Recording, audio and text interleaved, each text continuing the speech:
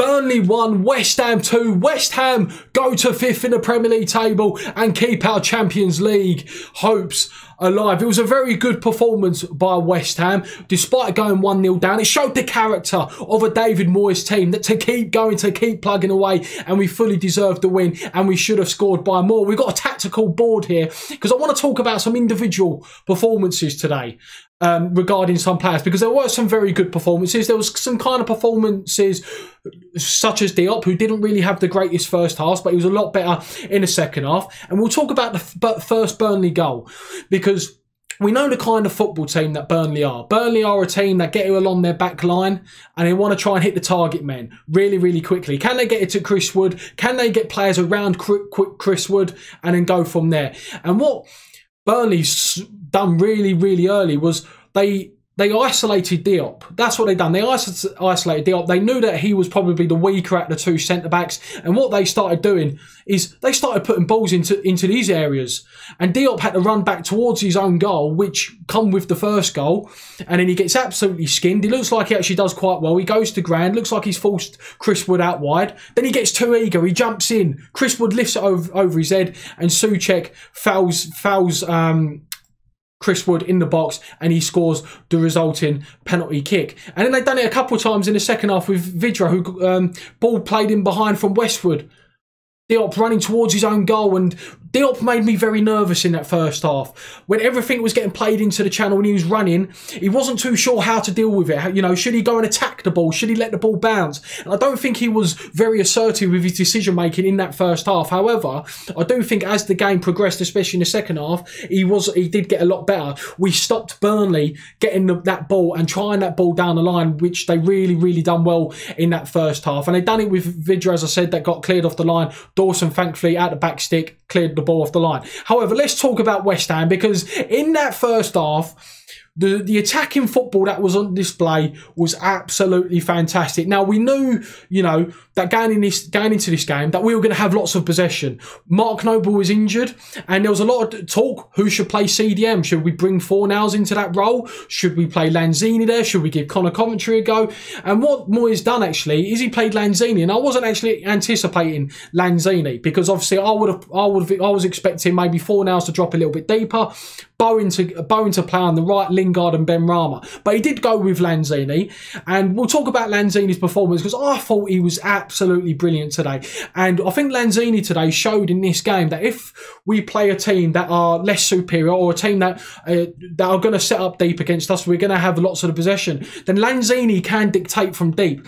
And one thing I love about Lanzini when he really gets going, the best Lanzini that we saw a couple years ago before he got that big injury was he can glide past players. He uses his body very well to sort of get himself out of holes and get himself self out of tight situations. That's what he did. He let the ball run across, and next thing you know, he's played a ball out wide and he's opened up the pitch. And I thought Lanzini today, just controlling the ball in these areas today. Just getting the ball here, bouncing it to maybe Lingard. The ball would come back to him, and then we'd go and move. And I really, really love that with, with Lingard, just um, with Lanzini today. Just keeping it ticking was really, really good for Lanzini. And I thought he played really, really well, dictating the ball from deep. And now let's talk about Thomas Soucek, because Thomas Soucek today, you know, we, apart from the first half when I think he got in the box once or twice, you know, he he had to he realised that he couldn't go as forward as much because with Rice next to him next to him, he could go and be a little bit more adventurous in the box. But he was very good. Apart from the fact that he did give a penalty, his general play was very, very good. Another solid performance. Dawson, I thought with Dawson today, I thought he was actually pretty good. I thought, you know, despite the fact that the last couple of games he got sent off against Newcastle, he scored a couple of goals. I thought Dawson was pretty solid today. A good 7 out of 10. I really thought that he was good. Coufal. So foul was brilliant and his movement was because of Fornals. And with Fornals, he, he worked his absolute socks off. And the thing with this formation, there was great rotational play. We saw Benrahma sometimes drifting here, Lingard in here. You see, you know, Lingard out what on, on the right hand side. You see Fornals on the left. And when you've got lots of players that are very comfortable playing inside or playing on either flank, you can see rotational play. And we we really saw that in fruition today, especially in that first half when we were playing some delightful stuff. When we were getting the ball with, you know, Fabianski, there was multiple times the ball would be with Fabianski, and I think it was um, the Benrahma shot that just went what uh, went wide where Antonio ran in at the back stick. But essentially we set up like this. Lanzini was the one that collected the ball from here. And next thing you know is we're Benrahma's here. Fornals is on the right hand side. Lingard's here. Soucek is sort of in sort of in the middle, but he sort of just plays the ball out to Coufal. Coufal's carrying with the ball and it's just fantastic play. It plays it into uh, Fornals, plays it into Benrahma. He hits it wide, and some of the fantastic play we saw today was because of the fact that we were playing very, very well on the on in the in the wide areas. I thought Coufal, Fornals, someone who regularly tucks inside. You know, he's a right foot. He's not a natural wide player, is he? You know, he's not a natural winger that's going to get on the outside and put a cross in or come inside and whip one in the top bins. He's not that kind of wide player. He is essentially a central attacking midfielder playing out wide. And what we saw today was that at times he would tuck inside, and because Burnley were playing a 4 4 2, it would overload the central areas. You know, the, the two Burnley midfielders, Westwood and Cork, would think, you know what, we've got to try and pick up Lingard. We've got to try and pick up, you know, the deep run from Soucek and Lanzini, but then also Benrahma cutting in from the left, Fornals cutting in from the left. And that allowed so much room for Coufal to get into these positions time and time again where you can put a deep cross in or a first time cross. And that was from where one of our goals come from. It was a fantastic ball. Antonio attacked the ball. It's a fantastic goal to 1-1. Uh, and with the second goal, again, it was fantastic play from West Ham. You know, I think we we the first 10 minutes or so, we sort of stooped down to Burnley's level in terms of we are playing a lot of hoofball. We weren't really controlling the possession, controlling the tempo. But as the second half went on, like the 15 minutes till half time, West Ham really sorted themselves out and started winning the second ball, started maintaining pressure on the opposition. And it was really good to see. And that's exactly what we done. We maintained push pressure on our attack. We got the ball out wide to Benrahma. And it's a fantastic delivery by Benrahma. He, and, and sometimes with deliveries, you know, if you if you look at the best defenders in the world, it's not right. Let's try and hit that man. It's all about can you put it in an area?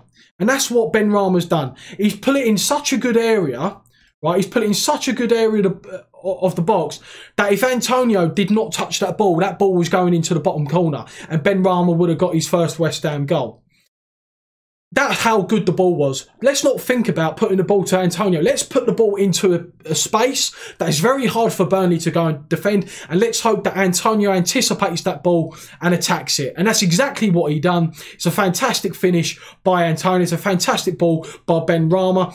And it was a great, great team goal in general. Now, if I was going to criticise one, one thing from this performance, because we were very good today. We were, we were very good it was a lack of composure again in the final third, a lack of decision making. You know, the amount of times that I spoke about, well, not that I spoke about, but I, I, just mentioned about West Ham winning the second balls. And in the second half, and sometimes in the first half, we'd get ourselves in fantastic counter attacking situations where we're sitting a little bit deep. Lanzini or Soucek would pick up the ball on the second phase, on a second, um, a 50-50 ball, would pick that ball up. It then gets to Lingard, and Lingard's driving at the defence, or Fornals is driving at the defence.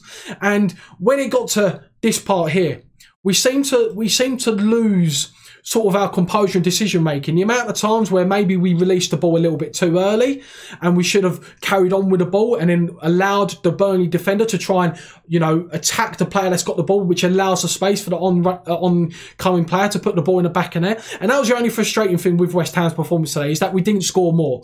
And the amount of times that we got in those good situations where it was a 3v2 or 4-3-3 and we had the numerical advantage over Burnley. And we either chose the wrong pass or the pass that, you know, we did make it just wasn't quite good enough in the final third, or we done it a little bit too early. We didn't really do it at the right mo at the right time, at the right moment. That's probably the only critical thing I have regarding that performance. Because generally, the whole team as a collective were very, very good. Cresswell played a very good game at left back. You know, coming from a hamstring injury, very, very good. Diop, as I said, very nerve. I was very nervous, especially when they were putting those channel balls, and he had to run towards his own goal but he played he played he played okay towards the second half. Lanzini I thought was excellent. Benrahma had played a very good game, getting an assist, unlucky not to score. Lingard, you know, I don't think it was one of Lingard's greatest games, but he done the simple things right. He done the simple things right. Whilst he didn't score or create anything crazy, um, he done the simple things right. Fornals, you know, very, very good, you know, in terms of supporting Coufal. The amount of times where, you know, this this would become sort of a 4-3-3 um, out of possession. You'd see Fornals tucking a little bit here. Benrahma would be, you know, a little bit wider, and then Fornals would run out to the, uh, the, the Burnley left back to apply pressure along with Coufal, so Burnley don't get a two v one situation. Um, on West Ham's right back so far. So I thought Fornals was very good, but I do think sometimes again his decision making in terms of, and that's not just Fornals. I think you know Antonio as well, Lingard, Benrahma at, at times. I thought you know should we have made better decisions just around about here? You know, should we have made better decisions? And I think we should have. But generally, it was a very, very good game from West Ham. And David Moyes got absolutely spot on. And I absolutely loved it, you know, that we've won this game. But the manner we won this game, you know, we went 1 0 behind, you know, in a big game. We had to win if we're going to get Champions League. And we rolled our sleeves up. We showed what we're about this season. And despite not having Rice on the pitch, who's a leader, despite not having Noble, you know, and players that are 50, you know, not 100% fit, and despite not having Ogbonna, who's another rock at the back, we got through this game with with work rate, and we played played very very well. Played very well, and it's absolutely, I'm absolutely buzzing that we can go now into Everton, and I think a win will secure possibly top six, or maybe I'm wrong, completely wrong about that. But I'm pretty sure I've read somewhere like West Ham need top two wins from um, from the remaining games get to get into Europe. So guys, hit the subscribe button for more videos. I'll catch you next time. See you later.